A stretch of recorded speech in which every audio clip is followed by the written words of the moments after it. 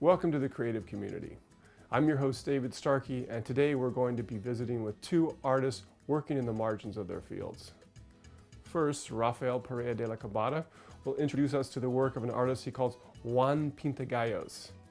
And then William Davies King will introduce us to what he calls ruin books, the art of bibliolage. First, though, we're going to talk to Rafael. Um, we're here in his studio, and he's going to introduce us to this mystery guest that you've been talking to me about, Rafael, for the last month. Every time I see you, it's Juan Pintagallos this, Juan Pintagallos that. Who the heck is Juan Pintagallos? Well, he's, uh, he's an artist that I met uh, years ago, and I've been kind of uh, asking him to show, and uh, has been a long road. And where'd you meet him? Uh, I met him in different places, but uh, I think uh, the the uh, recollection that I have of the first meeting was in a small town in my uh, hometown, Mexico City, and uh, He was a small town outside Mexico City? outside Mexico Okay. City, uh, and I was uh, just going for a small trip, and I, I saw some of his work, and I've been fascinated by Mhm. what he's doing. Yeah. Well, now, uh, one of the things that you and I have been talking about is that your work is so different from his. I mean, you were born and raised in Mexico City. You were trained as an artist there. You were trained as an artist in the UCSB MFA program. And he's really somebody who's working without any kind of formal training. Yeah, I don't think he had any training, and uh, that's what I like about it. He still preserved this kind of innocence and this kind of just uh, visceral uh, love for paint and for drawing. Uh, but he's incredibly shy. It's very hard to um, to get him to talk to me about his work. Yeah. But he's going to be with us today, so I, I hope so. I mean, I, I'm, I'm laughing because I've been saying, well, maybe I should be interviewing him. And I mean, my Spanish is really horrible, and he only speaks Spanish, right? yeah. um, and you didn't want to act as an interpreter. But um, it's, it's an interesting thing because, um, you know, it, it's very, I don't know, I can't remember a single time when I've interviewed someone else about another artist who could physically be present. Uh, doesn't that strike you as odd? Mm, yeah, it's actually kind of weird. I have to tell you yeah, but I think it's, it's, it's one way, it's one, uh, it's one compromise. We, we agreed to actually do this. Uh, I become a little bit of a kind of like an interpreter of what he's, he's because he's having a show finally. And, uh, in Santa Barbara. Yeah, in Santa Barbara. So I would like to introduce his work and um, you were kind to talk about it. Well, you know, I, one thing I, I, I know you're going to get mad at me for bringing this up, but um, I, I, I understand that you kind of maybe taken like a cut of, of, of the work. I know, I know that's a dealer. that's yeah. I mean, yeah, that's that's general in the art world. I know that if you sell some at a gallery, you may have 50% that you give to the to the gallery owner. But you're you're his agent, so you're taking something in addition to the the gallery cut. That's pretty much a standard 40 50%. Yeah, that's Like that. sounds like a which lot is odd, but you know that's that's what galleries uh, charge for when I sell my work. Uh, but you know we have an agreement. I'm trying to promote his work, and I at the same time trying to um, develop uh, a history of, of his his process and his um, biography to the community. So We'll talk about that process a little bit because people were looking over our shoulders, and, and we'll, we can drop these shots in later in, in after the interview is formally over. Um, he is literally a, a pintagallos. He's painting he's painting roosters, um, and you know they're they're different, but he's he's clearly working almost not, not exactly off of a formula, but a model maybe. Would you say? uh, I don't know if I. He would like to be you know, a formula necessarily, but why I- but I understand what you mean. But I think he, he has a certain style, a way of he has a a connection to that subject matter. Mhm. He actually had roosters around growing up, and And for- he grew up in rural yeah, Mexico. for him, yeah, and for him, the rooster is a very important symbol. Uh, he used to wake up with them, and uh, it's almost like the, the the day is not finished if he doesn't hear the end or the beginning of a rooster. So, and he's using in this case uh, feedbacks from from. Uh, uh, So he's painting on top of feedbacks. yeah, on top of feedbacks, and, and, and the frame is made are- yeah. actually are made with beautiful wood, like a hundred years old uh, wood that is done by a by a friend of his, Right. um, um, Dan, uh, and they're beautifully made. So, well, talk to me a little bit about the tension between you're a very avant-garde artist. I've Mm-hmm. worked with you, you know, over the years in various capacities, and, and I know that, that you're always pushing things. You, you don't want to settle for the first or the second or the third or the nineteenth thing that occurs to you. You keep on pushing. Whereas uh, Juan seems to be in a kind of different artistic space. Yeah, that's a, that's a good point. I don't know where he is. I, as I mentioned, I, I don't know him that well. I just uh, being kind of respectful about his privacy. Right. So is he living here in town? Uh, he doesn't want to tell me where. I, I last time I we met, we just met in the park, Right. and I saw some of his work in, a, in, the, in the back of a garage in a home, Uh-huh. and uh, I ended up purchasing a couple uh, uh, carving things that he was doing. Mhm. But I don't really know him that well. But uh, I'm just trying to generate an income for him, Mhm. for him to continue his practice. So if viewers are watching this, he doesn't have a website or anything, obviously. I would like to create. I actually I've been talking about creating a website for him. Just for him, okay. yeah, just for him. And- But then it's, it's a very commercial endeavor. But Right. but uh, since it's not me, I, I'm- I'm- I don't mind doing Yeah. it. Well, talk a little bit about that difference between commercialism and, and kind of artistic integrity because he he is doing this work that that would hang well in a, in a lot of public spaces. I mean, I'm not trying to again, I don't want to, to denigrate it in any way, but you could see it in a dentist office or something like Mm-hmm. that. Um, I. I mean, Very shaky I, territory I there. know. Sorry. Um, nothing against my dentist. Yeah. Um, but you know, what what is he all about in terms of, of his art? Is he is he is he trying to push beyond these retablos? Well, Yes, as I side note, uh, some of the collectors of my work are dentists. They are very, very good in, in Okay, terms of the, their um, their eye is very sharp. But um, mm, I, I, don't, I don't know what to tell you. I think there's obviously a, a, a commercial element to the whole thing, but uh, the artists have to survive. Mhm. there's, I don't think there's anything wrong with m- making an income to be able to keep creating your work. I think what I'm feel a little bit apprehensive is uh, is I don't want this to be perceived as exploiting him or anything like that. You know, and, uh, but it's more, it's more like it's, it's more uh, A uh, collaboration. and a collaboration in a way. I think the moment but that he's he doing all the work. I'm just talking in front of the television. Yeah, yeah. He, he works pretty hard. yeah. He's doing a lot of uh, maybe later you can show doing a lot of kind of retablo like right. Uh, drawings and um, With- with text at the personal bottom, yeah. stories. Uh-huh. Um, should I grab one? Yeah, could you But he just he's making this uh, show to the camera, maybe? these pieces, and he, I, I really like his drawing, like what he's doing. Uh, it seemed to be very spontaneous, and all the stories are a little bit uh, strange to Mhm. me. And uh, you, I imagine you will appreciate them because you're a writer. Yeah. So Um, he he, uh, you told him that he should potentially be here, right? I mean, did you tell him about the? I'm, I, I know we're on camera, but still, is he? to be here here in the Yeah, interview. here at this time? Yeah, I told him I have a very, uh, you know, uh, good friend that uh, he's a little bit crazy. Sorry, Yeah. that's why I introduced you, and uh, in a good way. Right. And uh, he would love to talk to, love to talk to you about your work. And he said, uh, took like maybe five times, talk, bringing the theme again and again, Uh-huh, and the topic, and finally he agreed to do it. Okay. Well, we'll we'll we'll, keep on talking and hope that, that he, he shows up here uh, before we run out of time. Yeah, don't take it personally. If he doesn't show up, it's, he has done it before. Yeah. So So uh, tell me more about, I mean, what you know of his life. So he's he's working on a farm, uh, living on a farm. He begins painting, just teaches himself. well, the problem with the whole thing is that he keeps changing the story. Okay. okay, he tell me one thing, then he tells me another one. right. and he was born in rural Mexico. Then he was actually living in the city. Mm-hmm. Then he said he was an orphan. Then he said he has three three uh, brothers and sisters, Okay. and so so it keeps flipping around, and, can- and it's really unstable to me. And why, why do you suspect why he's not telling you the whole truth?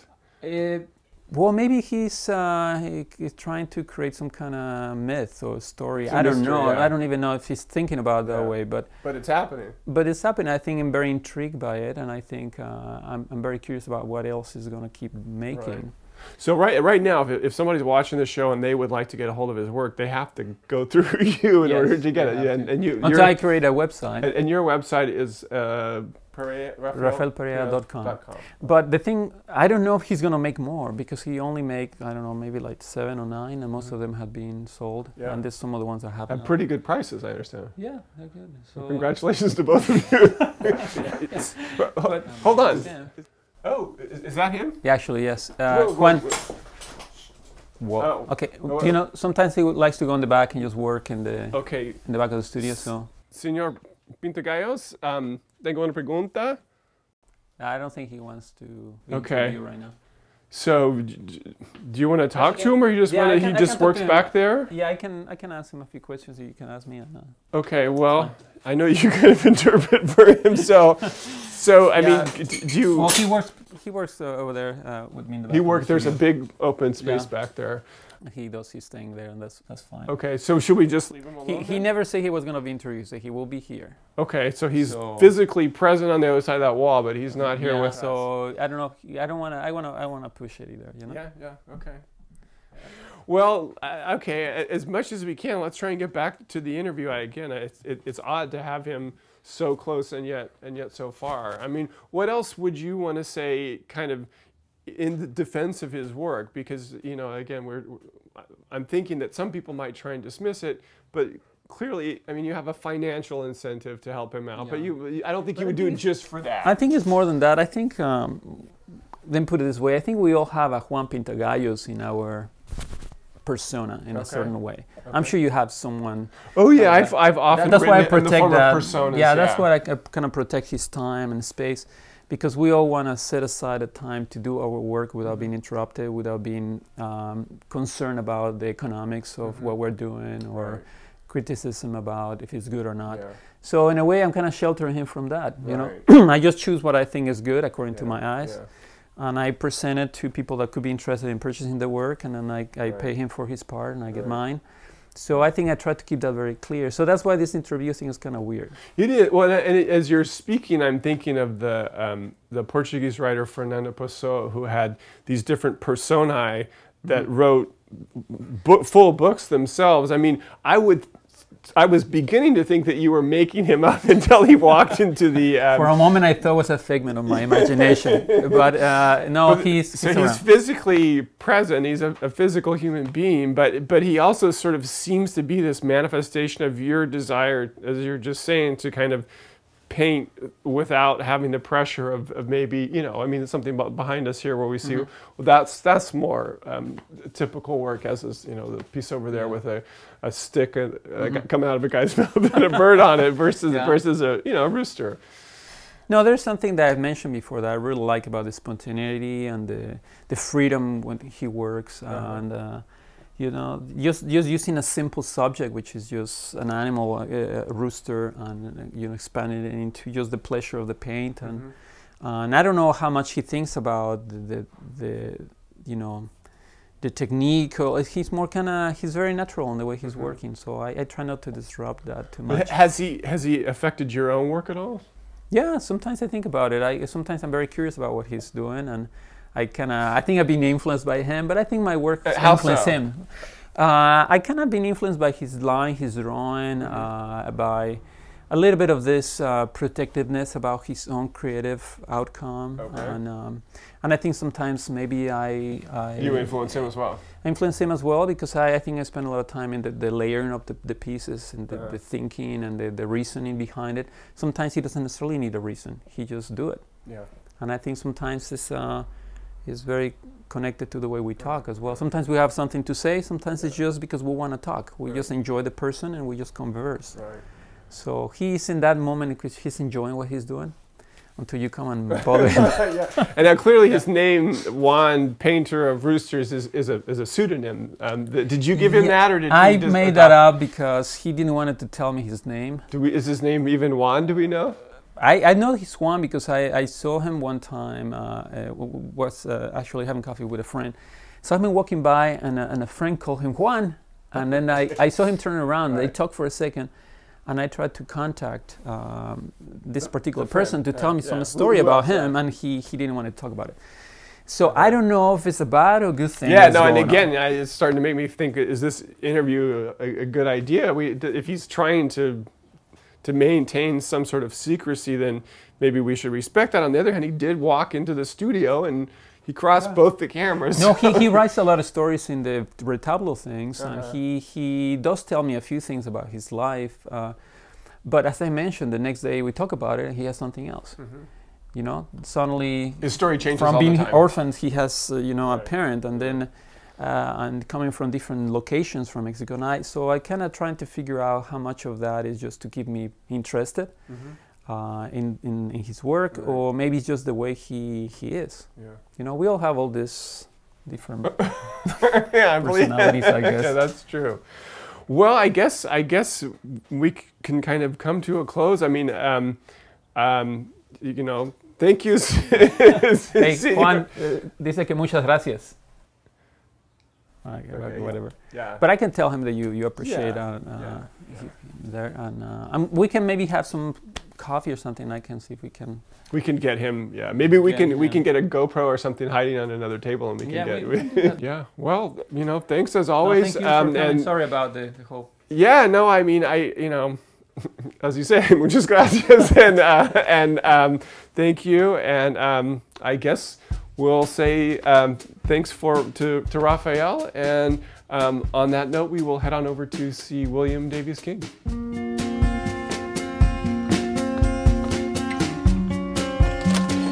Hey, Dave, how's it going?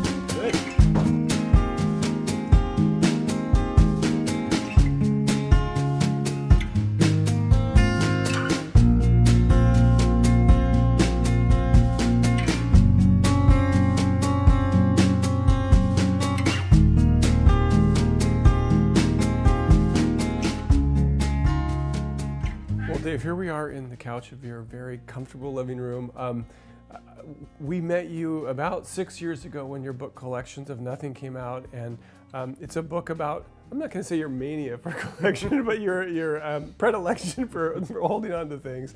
A great book, and we, we managed to look at a lot of your um, collections, which are over there.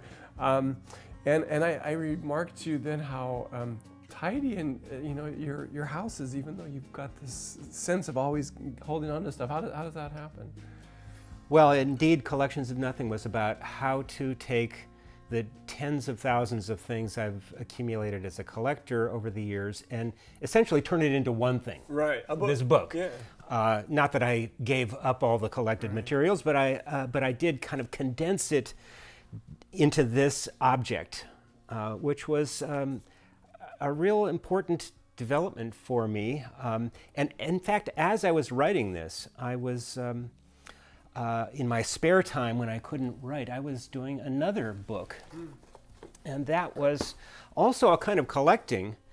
But it was a collecting of dictionary images, the little pictures that show up in old dictionaries. And I was creating a kind of pseudo dictionary out of it by just uh, pasting them into this old lab book. And so, again, it was about taking a bunch of things, and I had uh, collected a whole lot of dictionaries, and cutting them up and condensing them and turning it into one object.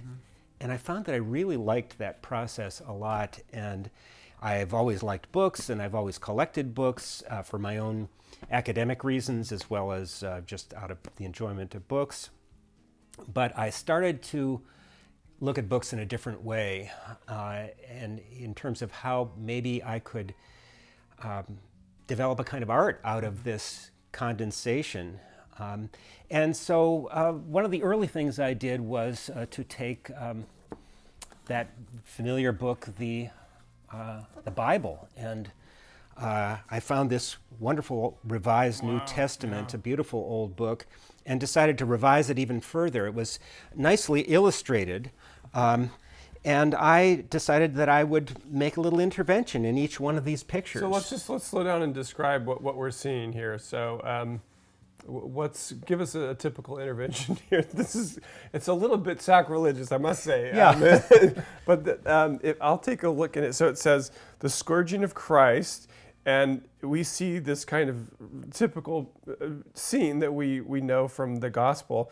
And then there's this Victorian gentleman with his hands behind his Yeah. back, sort of looking on. Um, what- I thought of it as is uh, is is where am I in relationship to this book? Mm-hmm. And so I kept uh, in looking for pictorial material to insert, finding things that expressed my sense of distance and and connection to this mm-hmm. material. Yeah. Like, how do I connect to this? Um, and, and, what's what's the answer to that question? Uh, comically uh, and surrealistically, and in a way that doesn't, yeah, yeah. in a way that can't be rationalized right. entirely. Um, and but in a way I liked. Mm-hmm. Um, and very quickly I became obsessed with this. As anyone who's a dedicated collector is a bit of an obsessive. And uh, at this point, now six years later, I've created over 100 uh, books of this wow. sort. Wow. And so these are collages, but the collage begins with a book. So it's bibliolage, you call it, right? That's the new term that I coined for yeah. this. You begin with a book, a biblio, uh, and you collage into it. You, you uh, find images to uh, illuminate or hyper illuminate, mm-hmm. I say, uh, every one of the pictures in that book. Uh, and I've found that uh, it's led to a whole new way of looking at books, a new way of collecting books, and and it's a new kind of occupation for me to to experiment with this sort of. You know, it's interesting to me that um, you call the books that you um, cannibalize ruined books. Yeah. Um, and I think that's interesting because um, the the book that results. It, it, that's the hyper illuminated book. That's mm-hmm. that, that's the what is it? The it's not the Ur book. It's the opposite of the Ur book. the, um, but it's it's it's it's the thing towards which all the other books are in service, yeah. and then you just toss the other books out, right? More or less. Some, yeah. Sometimes, if there's more material to extract from something, You'll they're like mines, you know, and there's yeah. there's ore there right. to pull out, um, and but yeah, it's it's rebooking a book. Mm-hmm. Um, and often, what I look for is a book that has space in it, some capacity to hold something more. So, uh, I love interior decoration books. This is a book about bathroom design. Yeah. Um, and so it's filled with images of bathrooms. Bathrooms of belief is the. I came up with the idea of like, what if it, I just put other imagery into these right. and occupy these bathrooms with uh, various pictorial elements? And it suddenly becomes a very um, crowded house in a sort of. Uh, uh, a kind of a wonderfully populated world right, right. Uh, out of an empty house. Well, when, when I see something like that, I, that's one of my favorites. I have to say, bathrooms of belief. Um, I can't help but be reminded of Monty Python, for instance, of the mm-hmm. way that yeah. you have a lot of Victorian imagery, these um, these line drawings. Um, is, is that a, an influence at all? I mean, you mentioned comedy. Um, talk a little bit about the process of collage and, and, and what your influences are. One of the deep uh, traditions of collage is to take the the sort of golden age of pictorial material, um, which is the 19th century, the moment when suddenly magazines and newspapers had those wonderful engraved illustrations, and to uh, and to reuse those in a way that kind of awakens to the modern world. Mm-hmm. Um, so Max Ernst, uh, the surrealist, right. is a really wonderful example of that.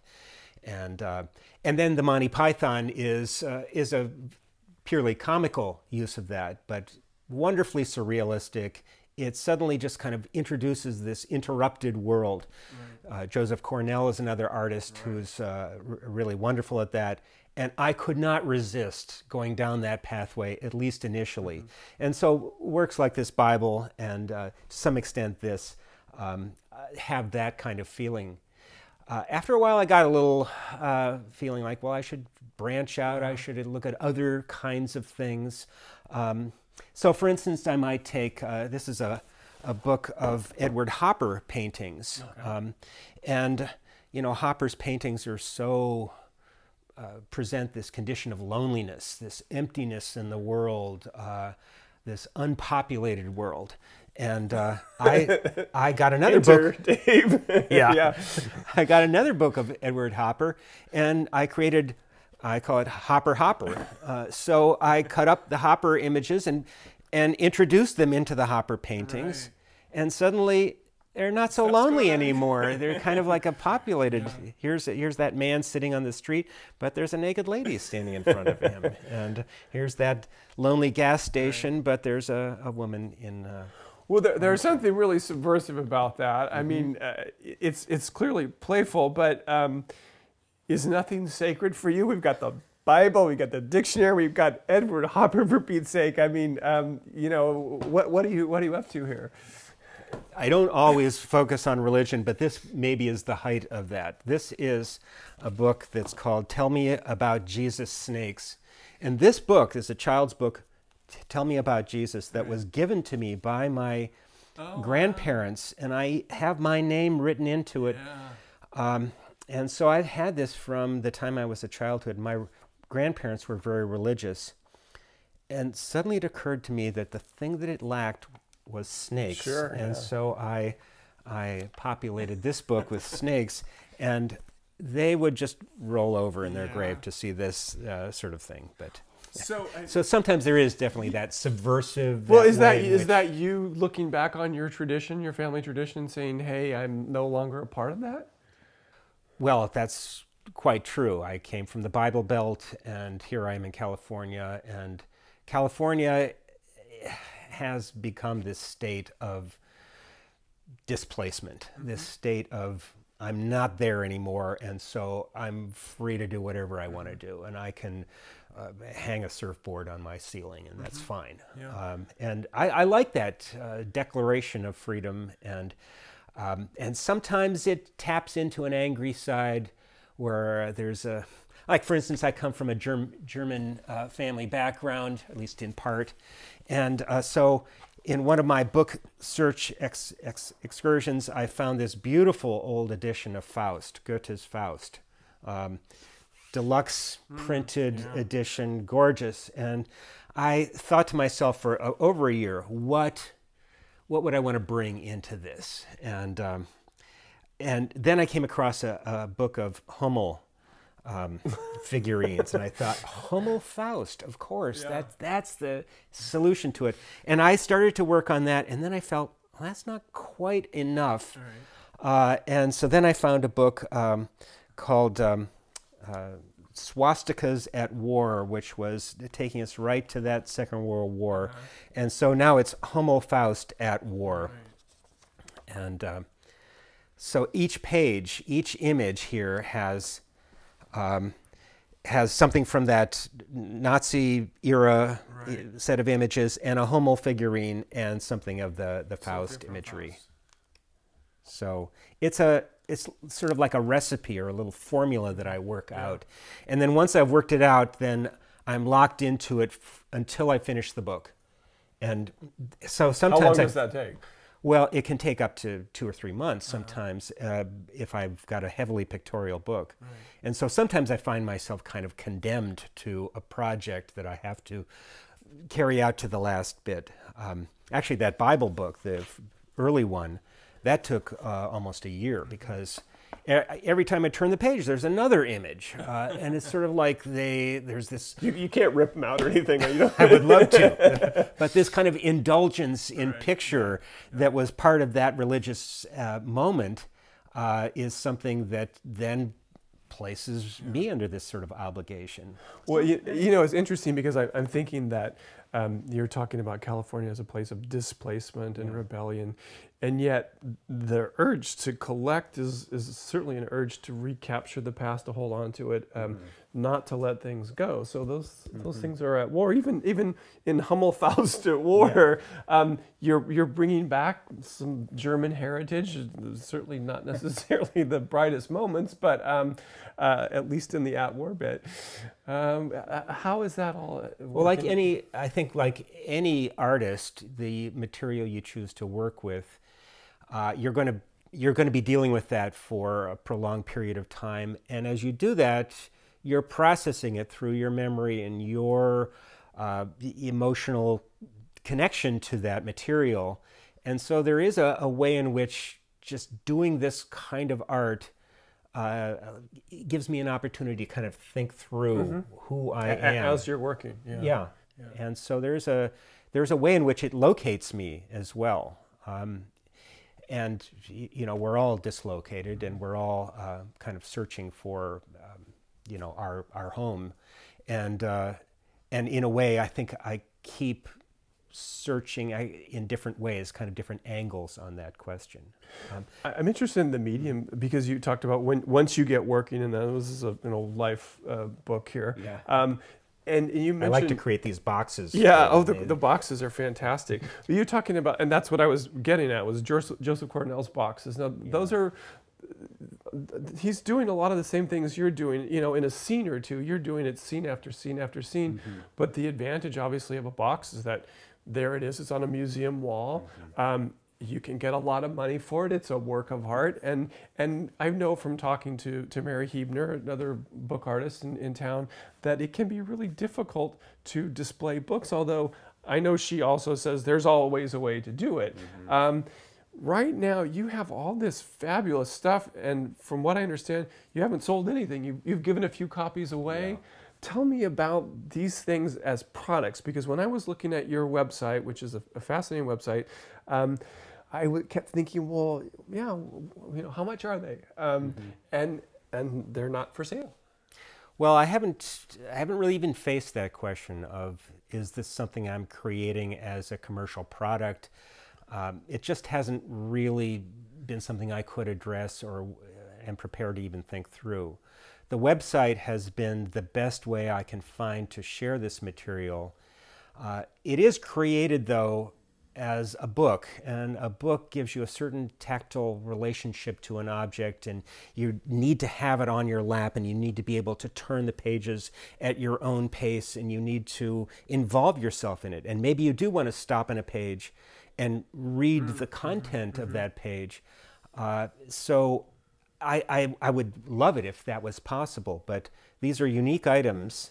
They are indeed, yeah there's I don't know. I, I, think they would lose something to republish them and mm-hmm.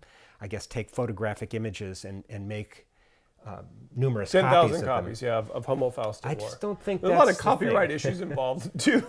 clearly, that's another thing I haven't even faced. Yeah. Um, uh, the appropriation of other content, yeah. but uh, but having somebody leaf through these books, having a whole bunch of people do that, of course, just subjects them to lots of wear and tear. And I have had a couple of exhibits and have just said, well, let's just see what happens. Mm-hmm. And uh, so far, it hasn't been and, and, seen and, any damage. And the viewers can come and touch the books and yeah. open. Uh-huh. Yeah. So that's uh, pretty brave. so here's a here's one that came out of such a throwaway piece. This is a uh, a catalog that came from Elie Tahari, some um, I, guess it came from Saks Fifth Avenue, and uh, so this is the kind of thing that normally you'd throw away. Right. Um, but I had this book called Tombs, Graves, and Mummies, and I somehow just thought that would be a good thing to to combine here. So each image here is of a beautiful fashion model uh, showing off some garment, and then and combined with these images dead. of corpses. yeah. yeah. Skeletons. So there's memento mori right there for you, and um, it, it's. I mean, th- I think th- what I'm really struck by is is how careful you are in in arranging things. That that's what I've been thinking over the last few years. Is what what is art? Well, art is just simply the knack for arranging things, mm-hmm. whatever it's words or notes or pictures. Is that something that you're kind of preoccupied with? Is where this goes in relation to? That's the most fun part of it. Yeah. Um, and so I will I will buy a book, usually at the library sale or at the Planned Parenthood book sale. So I like to find books that are more or less thrown away anyway, um, or that that you would throw away. Right. And then I sit with it for a while and think, well, what what intervention would be ideal here? And I look around. intervention. Sometimes, sometimes, I wait months yeah. to find the appropriate uh-huh. material to go in there, uh, and then there's that whole thing of uh, you you cut an image out of your source of, of one source book, and then you look through this and you find the mm-hmm. the and it's almost like destiny sometimes where you have an image and you leaf through the book and then you find ah this is the Just place so, for yeah. it uh-huh.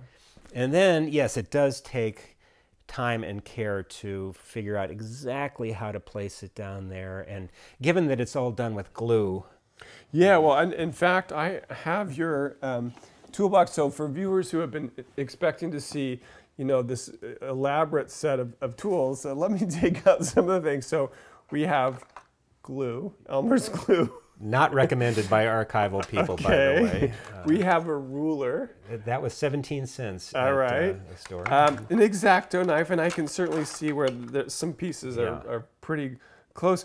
But but you're telling me that this orange pair of scissors is really where it happens.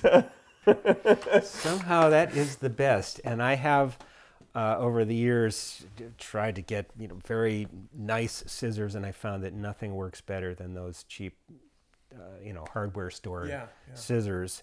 Um, and the Exacto knife I only use to cut out the sort of inside material. I love the process of just using the scissors and uh, going along the edge of something. Um, so that that's really part of the joy of of the whole thing.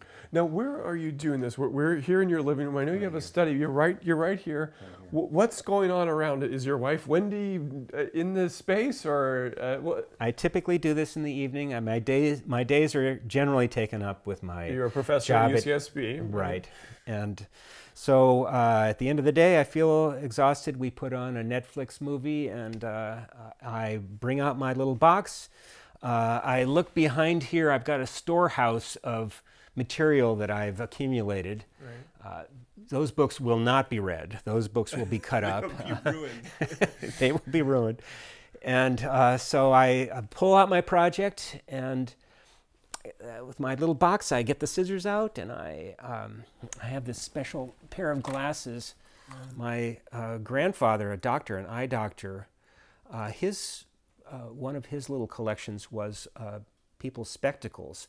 So people would uh, leave these behind, and uh, so I like to wear this oh pair. yeah, that's a good look for you. These are these are very old, um, but they give me a very good close look at things. Yeah. And uh, so I cut for a couple of hours a night. And so you're kind of watching the movie and, and Yeah. kind of paying attention. So that's an interesting. It's it doesn't require absolute silence and, and solitude oh for no, you to do this. no. In fact, I I like that there's a, a sort of a life going on Mm-hmm. in the background, and uh, we tend not to watch foreign movies though because the you subtitles subtitles. you'd have to look up too much. So. So uh, uh, you know, you finish a book, and then do you ever think, okay, I- I'm done with this now, or, or you immediately have, you've already got ten other projects in mind? There's a panicky moment when I finish, uh, which is about, well, how can I find the next thing that will be as interesting, and will I find the next thing as interesting? And so sometimes I feel like I've exhausted all the different sorts of imagery. I've done over a hundred of these now. So, uh, uh, but but then very quickly I find something else that that kind of occupies me and takes me in a new direction.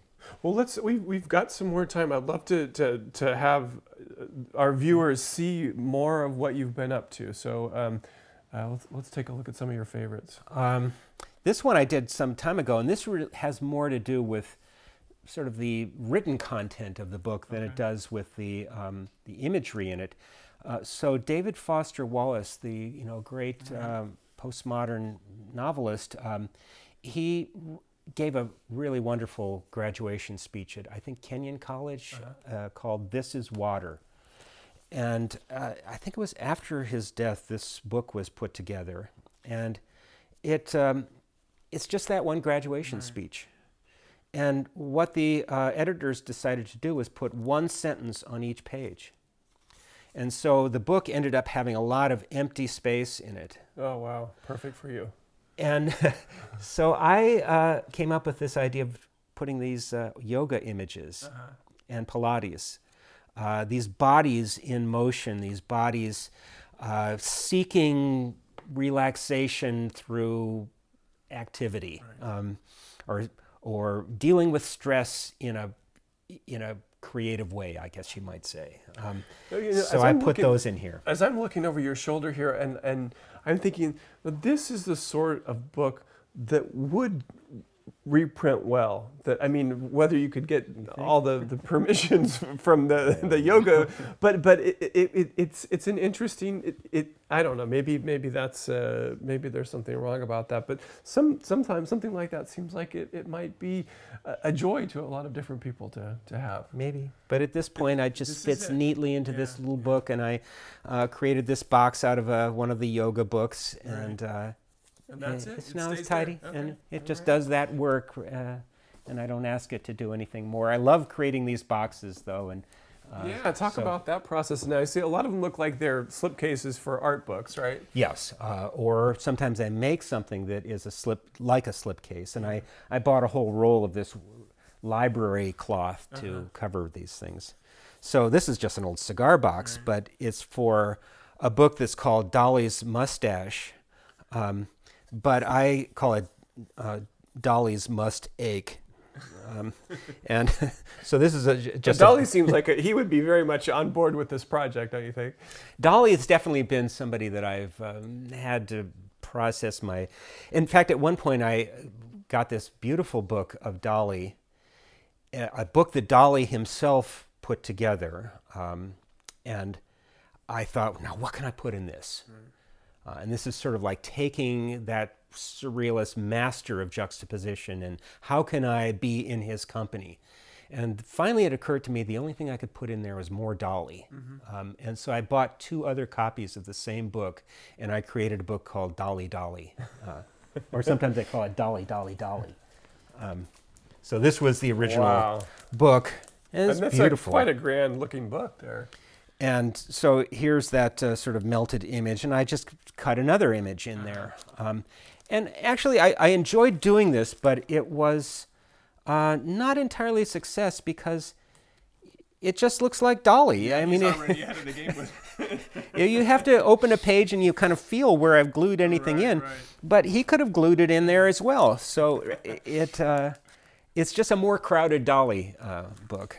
Um, It was it was an interesting one to do, but it, it, it taught me a lesson that I need to find an otherness to address and not the same. And, and ag- again, religions. I see this. This. Um, I don't. We've. Uh, this is one you want to take a look at, but that's something that. Um, and, I'll, and I'll let you show it to the to the camera as well too, if you want to. This is a recent one. Um, so this is called Big Farmer, Big Jesus. And so I, I came across this wonderful old children's book called Big Farmer, Big. And it's a big book uh, to illustrate that. And then in the original publication, there was a little pamphlet that was glued on the front that was called Little Farmer Little. And these are two stories. One is about a very big farmer, and the other is about a very little farmer. Um, the Little Farmer book was lost by the time I found this. Um, but I thought, what can I put in there? And I came up with Big Farmer, Big Jesus. Yeah, show viewers So that. That's uh, so that's uh, Raphael. Am I correct? it was a, a, a book, uh, it was a Reader's Digest published book of the art of Jesus. Okay. So it was a whole compilation of different uh, images of Jesus's life, and and somehow the combination of this larger than life farmer figure and and this larger than life human who was a god uh, kind of made a nice co- nice combination. And my eldest daughter is a farmer at this point and unexpectedly became a farmer and Has uh, she seen Farmer Jesus? She's seen it. What does she think? She she likes this book. So, um, so that was a fun one to do, and then and then to, this was such a delicate book that I had to create a nice box for it. So I, Ha- have you shown these books to anyone who's really religious? Hmm. I mean, now you have. You've just shown them to uh, anybody in Santa Barbara. uh, I I don't think I have really had Right. that encounter of somebody who's really religious, Okay. and and maybe I've a little bit emphasized just by the Right, randomness right, of my right. bringing out here. I, I'm not always fixated on that. Uh, there is a, a vein of books that uh, has more kind of erotic material. I, that's always right. Well, the, do we have the Vixen? Uh, is that is that around, or is that a I little bit too erotic? Yeah. some of the some some of the works, like um, I can tell our viewers, there's one called the Mother Goose Book of Sex, right? Um, Yeah, uh, we yeah. can't show that one. No. so sometimes there are, uh, and of course, just anything that provides a rich vein of, of pictorial material is in my view site. Um, in this case, I, I got a book that was called In Response to Place, and here they had 10 artists, 10 photographers photogra- uh, photographing places from the Nature Conservancy Okay. Um, and so wonderful places. And so there are 10 different little portfolios in here. And I thought, well, I need 10 different interventions Right. here. Um, so the cover here is very crowded because it, it, it shows them all. Oh, so for instance, here, um, uh, Norman Rockwell is, is brought into this area, which is the Colorado Plateau Wow. of Utah. That's wild. But then in another section, uh, these are images from a book about madmen. Uh, these are, oh, what's the name of that cartoonist, New Yorker cartoonist? Um, so each section kind of suggested a different, this is a, a sort of a how to book on tennis, which has really bizarre pictures of tennis players holding two rackets and things like that. Um, Well, So I I want to, of like that. while we're looking at that, uh, you, Yeah. you've, you've mentioned the word intervention several times. And for me, I associate that word with someone who is addicted to a substance. Um, they are not listening to anything at all that everyone is telling them. So we have to have an intervention. We're going to go in, we're going to get them, we're going to take them to rehab, and we're going to shape them up and we're going to get them back to normal. Now, for you, it's just the opposite.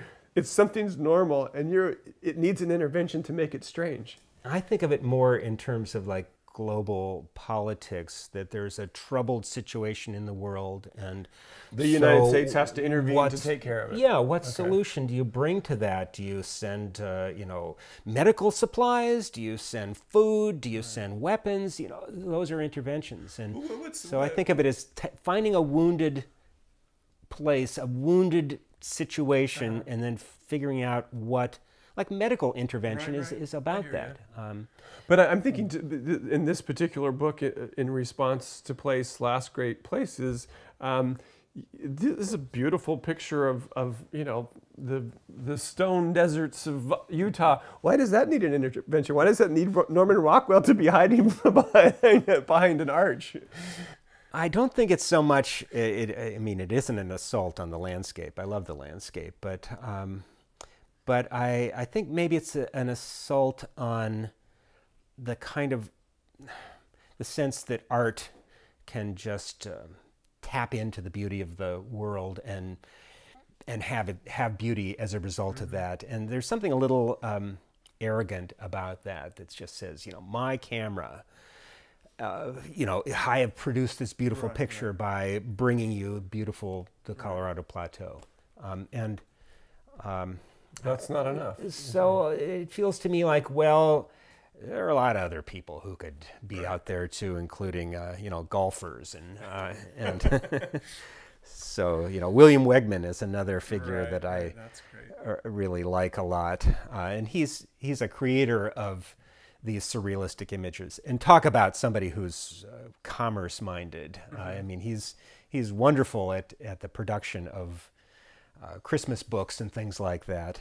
And so I I did one of his. I don't have it right here with me, but. Uh, Red Army uniforms of World War II uh, combined with William Wegman uh, photographs. Um, so they these are uh, models right now in full color uh, photographs of them wearing authentic World War II uniforms from the Soviet Union, and to bring that together with William Wegman, I I, I just You I love that. you couldn't resist. Yeah, here's the, the the whole Soviet thing is is generally interesting. This is Norman Rockwell, The Faith of America, uh, and here I, I just brought in um, imagery from the history of the Soviet Union, and so it felt to me like Norman Rockwell as this feel good artist of that era when the Cold War is building up, when indeed the world is in this extreme distressed mm-hmm. state. Mm-hmm. But there's this kind of contentment at home because you can get the Saturday Evening Post, and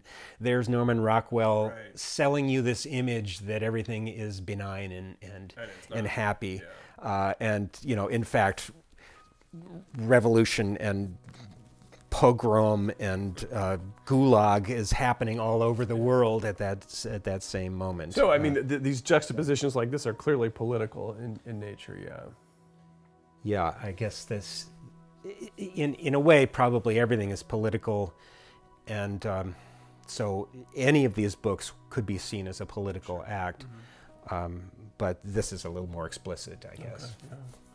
Well, as we as we wind up our, our visit, I mean, talk to me a little bit about the future of, of this work. Um, I mean, I would like to see you make a buck off of it, Dave. But um, I, I, also, you know, I admire the fact that you're you're making these for yourself. You're showing them to us, but you know, it, it's it's it's also it's, it's your collection. Uh-huh. It's, it's, it's, it's like the th- things over there on the shelf. Well, maybe there will be some destiny for them in uh, in in some other collection. Uh, my children will maybe find a way to. Uh, bring them to the world or, or keep them for the, themselves. Maybe they'll fall apart because I use Elmer's glue. I don't know. Uh, You'll regret that.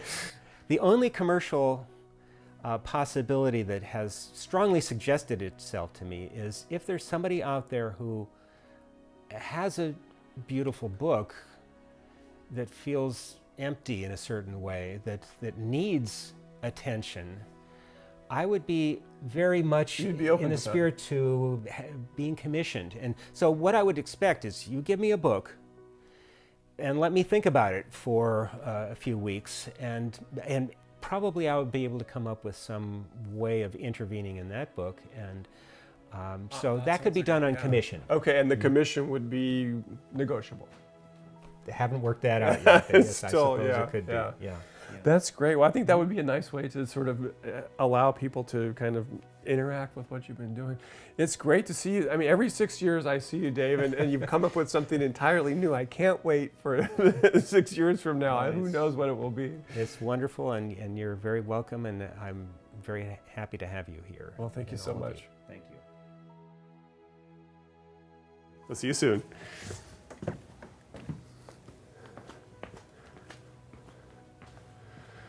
Well, that's all for today. The Creative Community is produced with a generous grant from the Diana and Simon Raab Foundation. It's produced by JP Montalvo and TVSB. I'm your host, David Starkey. Thanks for watching.